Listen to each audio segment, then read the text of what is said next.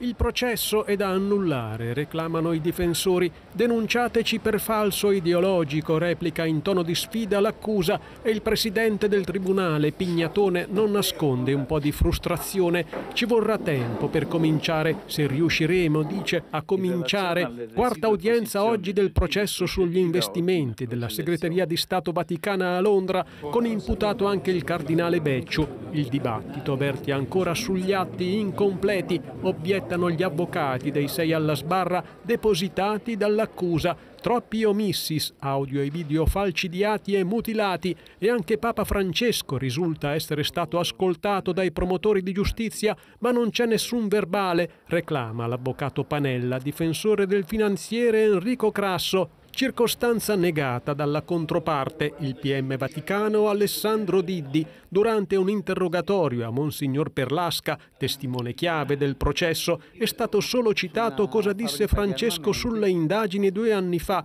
sull'aereo di ritorno dal viaggio in Giappone e Thailandia e molti tagli sugli atti del processo si spiegano col dovuto segreto investigativo su nuovi filoni di inchiesta che in pratica forse potrebbero diventare nuovi processi per altri reati ancora. Prossima udienza intanto il primo dicembre per decidere anzitutto delle richieste della difesa avanzate oggi. E data la complessità del processo c'è anche la giudice supplente Lucia Bozzi nominata oggi ad occuparsene